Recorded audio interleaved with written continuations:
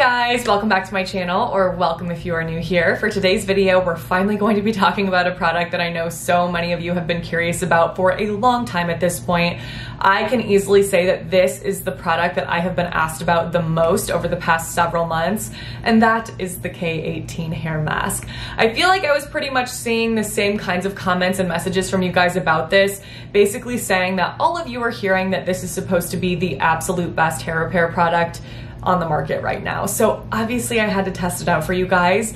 In this video, we will talk about how this is supposed to work. I'll show you how to use it on the hair. And of course, I will show you my personal results in using it because I did use it for the full six weeks. So we'll do a little before and after. And I'll let you know, in my opinion, if I think that this is something that's worth the hype, worth the purchase, or is completely skippable altogether. So if you've been curious about this, you've come to the right spot. We are going to dive into a lot today. So before we do, if you could please give this video a thumbs thumbs up, drop a comment below, and subscribe to my channel if you haven't already. All of those things really help me out and support me with the YouTube algorithm, so thank you so much for doing that. Instagram and TikTok handle are right here, and my Lightroom preset filters for editing Instagram photos are listed in my description box below, along with links, discount codes, timestamps, and everything else you may need from me. All right, let's jump into it.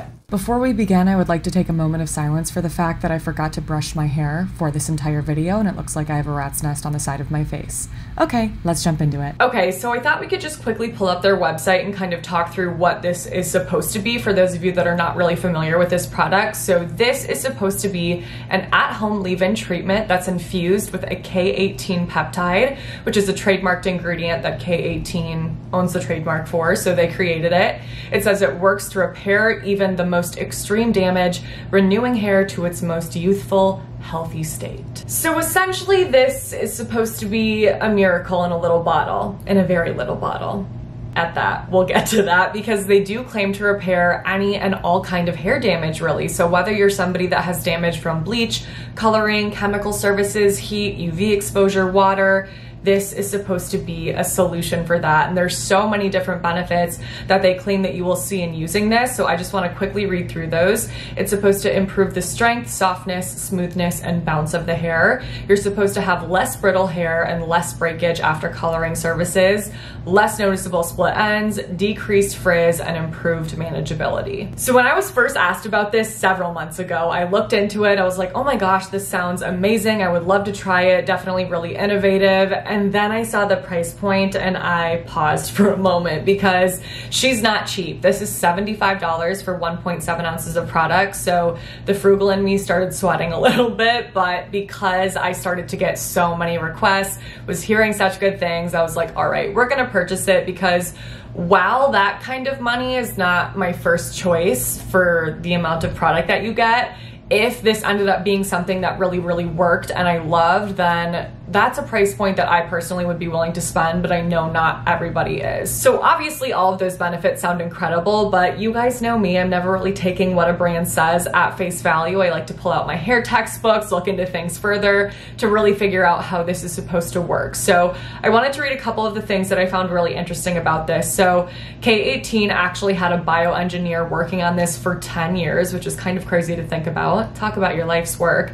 And he discovered a bioactive peptide sequence which is K18's peptide. It's a peptide that's supposed to penetrate deeply into the hair to reconnect broken polypeptide chains and disulfide bonds. So this is something that I actually talked about in a recent video that I posted where I compared a lot of popular bond repair products and really broke down the differences between them and kind of bond repair as a claim in total. So if you've been curious about that and if that is really a legitimate claim and how that's supposed to work, then I will list that video below. But in that video, I was talking about the fact that our hair is primarily made up of keratin and keratin is made up of millions of amino acids.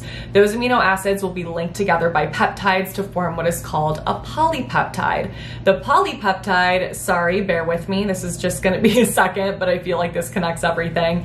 The polypeptide will actually cross-link with side bonds like disulfide bonds, and that is what forms a complex protein that gives our hair its elasticity and strength. And the peptide bonds in our hair are actually very strong, but they're definitely not bulletproof. And if just a few break, the hair becomes weak and damaged as a result. So that is where the K18 peptide comes into the picture. It's supposed to help to reconnect those broken polypeptide bonds and disulfide bonds to re-strengthen the hair essentially. So the primary purpose for this product is essentially just to act as a vehicle for that peptide and allow that peptide to penetrate the hair as effectively as possible. So it's not a deep conditioning treatment, it's not a hair mask, it's not going to be something that feels luxurious and creamy. We don't have any other ingredient highlights to call out like oils and butters because again, that's not the purpose or intended use for this product and that would prevent that peptide from penetrating the hair properly. So while we're not going to dive into ingredient highlights in that way, there's a couple things that I've seen a lot of questions about that I wanted to touch on quickly from an ingredients perspective. So in looking at the back of the ingredients list, you can see that denatured alcohol is actually the second ingredient and a little bit further down is isopropyl alcohol. Those are both forms of volatile alcohols. They're not the same thing as a fatty alcohol. There's actually one of those on this label too cetearyl alcohol, and that is fourth on the label. So fatty alcohols are completely different than volatile alcohols. I talked about that in a recent video where I busted a bunch of common hair myths. I will list that below if you would like to know more about that topic and really the difference between them. But volatile alcohols, like denatured alcohol, are known to be more drying and have been heavily scrutinized and demonized because of that but they also act as solvents and in this situation they were added to this formulation very intentionally so k18 actually has a little q&a section and they specifically talked about this because i'm sure they've gotten so many questions from people that look at ingredients and are like what the heck that's going to dry out my hair they say that they added those alcohols specifically to help to lift the cuticle so that the peptide can penetrate the hair as efficiently and effectively as possible and really penetrate the innermost layer so it's not like they're trying to put something in here to dry out our hair. Of course, it was formulated this way so that it can work as best as it possibly can. So if anyone was wondering my thoughts on that, I'm not concerned about it whatsoever. And the other thing that I think confuses people about this product is whether or not it's supposed to be a protein treatment because it does have hydrolyzed wheat protein on the label. And I think a lot of people at this point know that peptides are the building blocks of protein. So a couple of things here. Number one, the brand did say that they only added a very small amount of hydrolyzed wheat protein. And the second is that peptides are not going to behave on the hair in the same way that proteins do. So if you're not really familiar with proteins, they absolutely can benefit damaged hair because they'll temporarily seal split ends, help to protect the hair from future damage or those split ends getting worse. But it's really, again, a temporary solution and not one that's long term. And proteins can also build up on the hair. So they're not going to work the same for everybody or the best for everybody.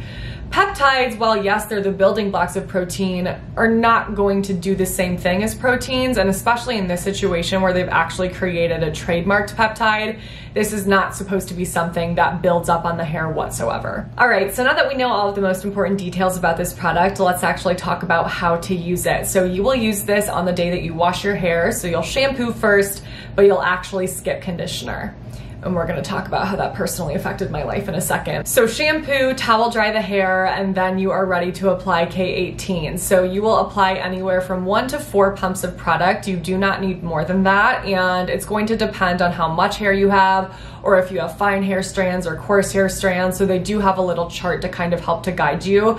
And then you'll go ahead and apply that all over. They do say from root to tip, but you don't need to focus it up here. Of course, you're gonna wanna focus the product where you have the most damage. So for me, that is from chin length all the way down to my ends. So for me personally, I did feel that I needed at least three pumps to cover my hair. While my hair strands are fine, I have a lot of hair and especially when I was using this, my hair was super, super long. So I did feel like I needed between three to four, but part of the problem I think is just because my hair is so, so, so tangly that I was having a hard time evenly spreading it throughout my hair. And then that made me feel that I needed more product as a result. So the formulation is very, very lightweight. It's like a lotion. It's easy to emulsify in the hand so that you can spread it out to allow that to spread more evenly. But because I could not use conditioner, my hair was even tanglier. So I already have a tangly mess no matter what, even with conditioner and deep conditioning masks,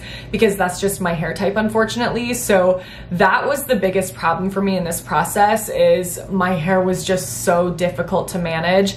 Not only was I struggling to evenly spread that because of the knots, and it's hard to spread even with knots like that, but then that just made subsequent brushing and combing difficult. And I feel like my hair looked a little bit disastrous. I'm gonna be honest on the days that I used this because I couldn't use conditioner.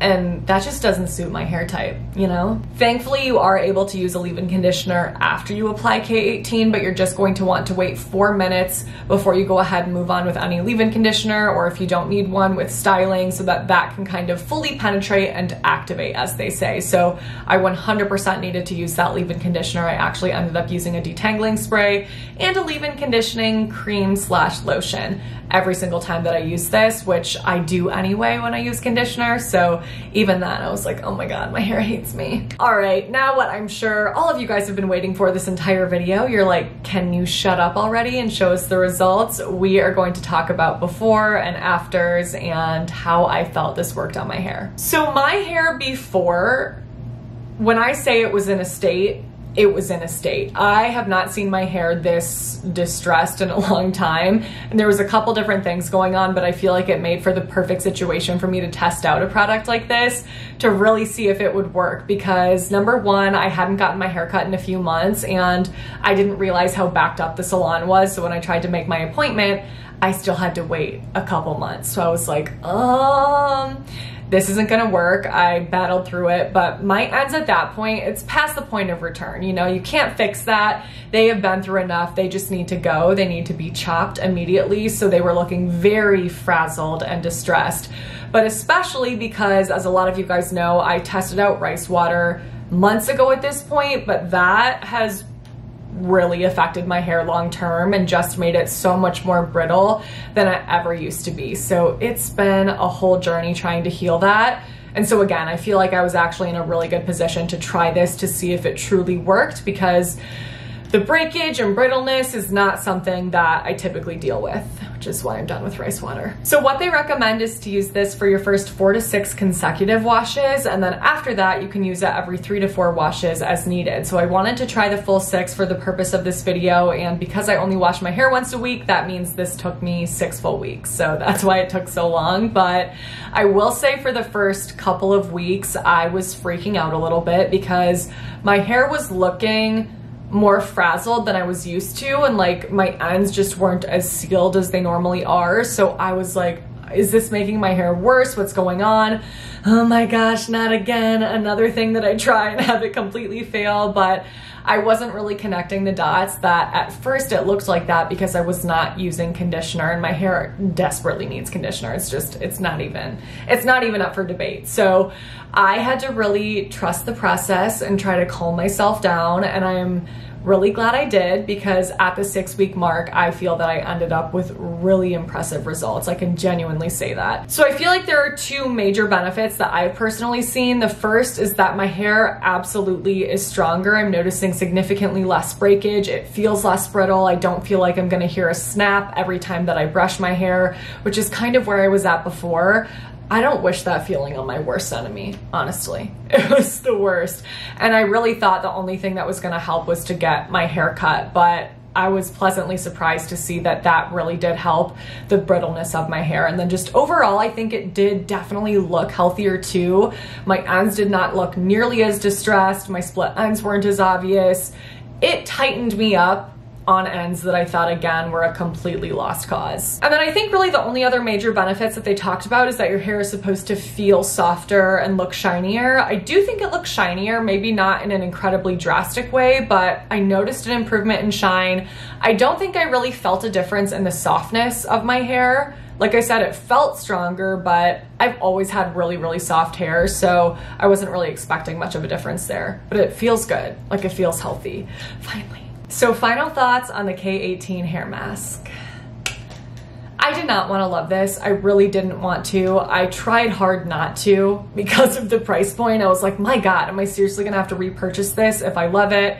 And I guess I am because I do love it and I can genuinely say that I plan to repurchase this with my own money because of the results that I saw. On their website, they do say that you're supposed to get 50 doses per bottle, but my guess is that one dose equals one pump. So if you're like me and you need more than one pump for your full head of hair, then it's not gonna last 50 uses. And I wanna know how much damage I did with just six uses, but obviously I can't. I can't see through this packaging. So I'm guessing it's not going to last nearly as long as that, but I do plan to repurchase this because it freaking works for me and I really wasn't expecting to see those kinds of results. So if it's within your budget, I would recommend it. I think it's a great product. And not only did I have a great experience, but I really do love the science behind it too. So that's everything that I have to say about this. I am dying to hear your thoughts. Have you tried this out? Did you see good results? Did you not see good results? Are you interested in purchasing it after watching this video? And if so, I will have it listed in my description box below if you want to look into it further or if you're going to go ahead and purchase. So let me know either way or if it's something that you're going to skip altogether. And also, if there are any questions that you have about this product that I didn't answer in this video, leave them in the comments below because I'm going to try to get in contact with the brand with your guys' questions to do a follow-up video, kind of like I did with my Olaplex video where I talked about the most effective ways to use it after working with a brand, well not working with, harassing the brand, hunting them down and being like, answer these questions. I want to do that again with K18. So let me know what your questions are in the comments below and I will send those off to them and try to get responses to as many as I can and do a part two. So that is everything. If you enjoyed this video, please don't forget to give it a thumbs up. Again, click on that notification bell, send my channel to a friend, subscribe to my channel, do all of those things because they help me out so much. Thank you again for doing that. Stay tuned for my next video because that will be up in a few days. But until then, I hope you have a great few days.